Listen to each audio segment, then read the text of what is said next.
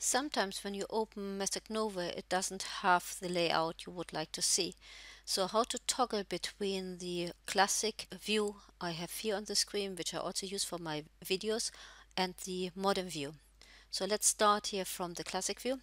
What you do, you go into edit and then go to preferences and here you can select the theme. At the moment I'm on the classic theme and if you want to see the other theme then you click on modern. You say OK and then the system needs to be restarted in order to take effect. Now I have restarted MestReNova and now you see a basic version of the ribbon. There are different versions available.